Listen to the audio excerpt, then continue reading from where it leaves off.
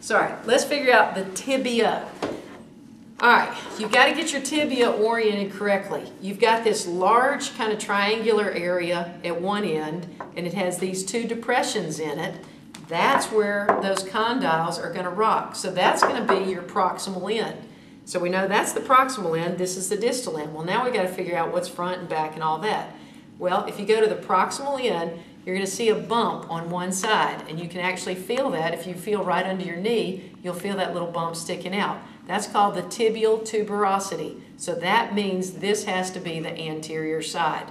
So this is your the proximal end, and then you've got that tibial, tibial tuberosity. So that's anterior. Well, now you've got to decide. Well, is it? The, and it's sharp. And it's sharp. What's sharp? Feel your shin. Oh yeah, yeah, and the shin is sharp right there. You have a sharp edge on it right there. Okay, and that's why you get when you bump your shin, you get easily cut and bruised because it does have that long, sharp point there. All right, or edge, not point. All right, if you're trying to figure out is it, if this is a right tibia or a left tibia, you got to go to the proximal end. And you see on distal end, it's really getting late. Go to the distal end, and you see you have this little kind of pinched part pulling down right here. This is called the medial malleolus. All right, well, I just told you which side this is. If that's the medial malleolus, then if I'm trying to put this in my leg, you want me to stick my pretty boots up here? Okay, is that the medial side? Yes, so this has to be my left leg. Because if I, keep it on tape, we're not stopping. Caught a little cuff here. All right, now we're going to put it on the right side, and the medial malleolus is not medial, it's now lateral. Stop laughing, they came here. You got to have some comic relief here. All right, so this has to be your um, left tibia because you want this medial malleolus to be on the medial or inside line. It's what you feel on your ankle. Yeah, so when you go down and you feel on your ankle, you're going to feel two little ankle bones, and you probably see them sticking out on my boots right there and right there. Well, that's the medial malleolus, and this is going to be your lateral malleolus. And your lateral malleolus is going to be formed by the uh, fibula, which is going to come down. Let's see if I can get this all put together like this. I don't think I have quite the right bones here. Um, no, because that's how I got the wrong bones here. No, I got it right. That's yeah, that's how it goes. Okay, so you have your medial malleolus and then your lateral malleolus is going to be formed by your fibula, okay? And so that's how you can tell what your right and left on your uh, tibia. So let's make sure we know all the parts of the tibia. All right, you've got your um, condyles up here, and that's the articular surfaces of your condyles. And again, this tibial tuberosity and this sharp edge up here tell you this is anterior. And then this malleolus down here is the medial malleolus, so this is the inside line, so that makes that the medial articular surface of the condyle, and that makes this the lateral surface of the condyle right there. So that's those two. And then the only other thing you need to know on this is the tibial tuberosity, which tells you if you're on the anterior side or the posterior side. And then, of course, on your uh, fibula, the only thing you need to know on the fibula is this end that has kind of this long tapered and flattened end right there that makes that lateral malleolus, and so that's going to be on the lateral side of your leg. Remember, fibula is on the lateral side, so la la. Fibula is lateral, and that's kind of how you keep them uh, figured out.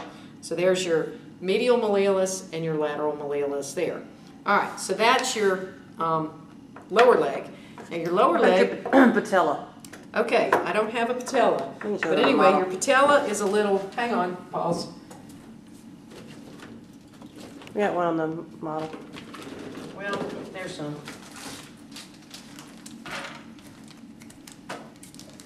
It's not paused. It's what? It's not paused. Just keep going. Oh, great.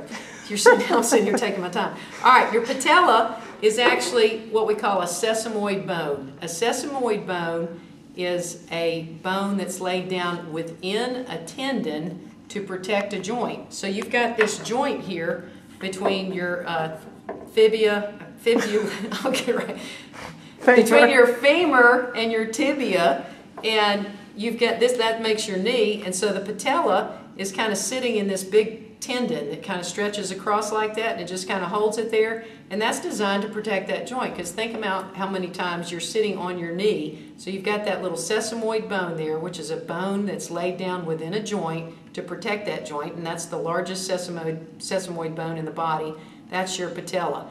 And it's kind of got a pointy end to it and that pointy end is always going to point down. So that's how that goes. So if you just see that little bone like that, that's your patella. All right.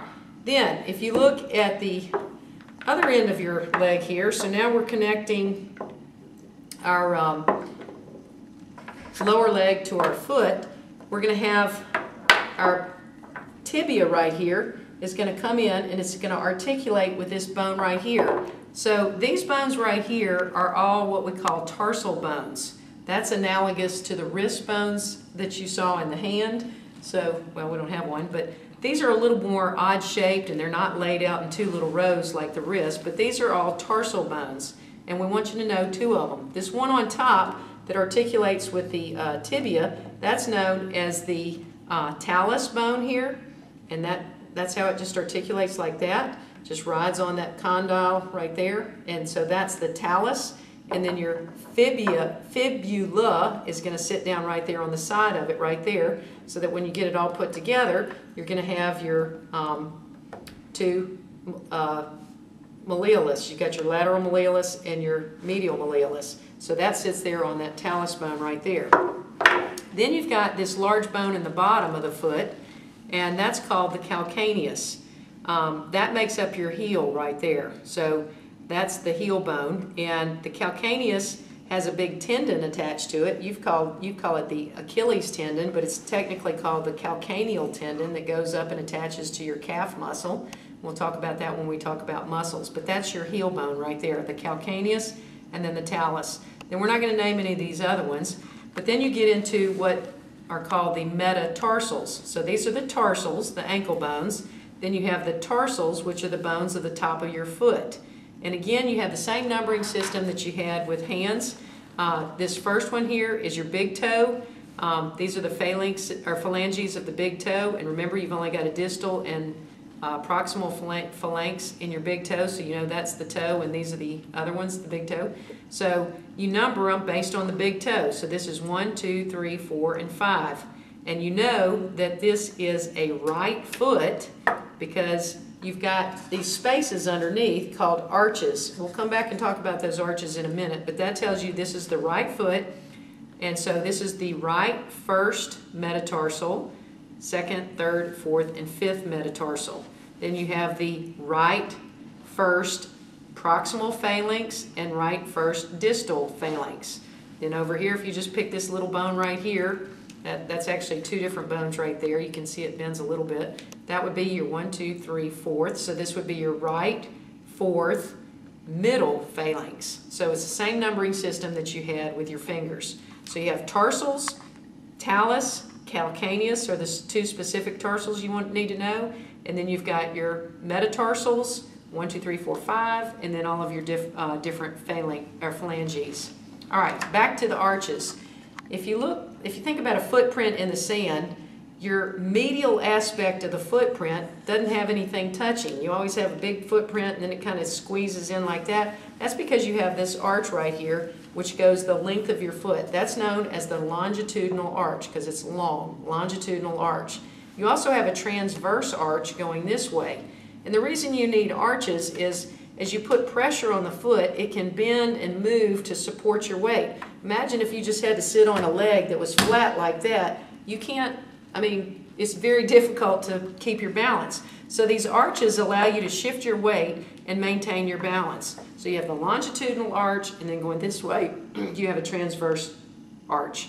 Um, the only other thing I can think of about this is your big toe. We call that the hallux. And I think that's everything we need to cover.